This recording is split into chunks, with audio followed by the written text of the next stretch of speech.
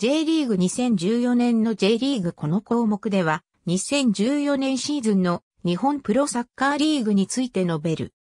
発足から22年目にあたり、新たに J3 リーグが発足し3部体制となった。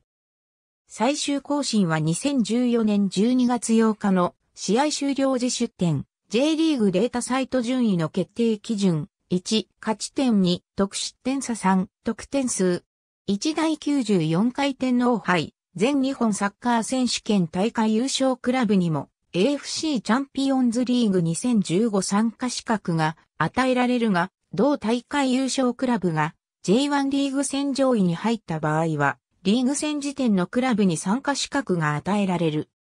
最終更新は2014年11月23日、第42節の試合終了時出展、J リーグデータサイト順位の決定基準、1、勝ち。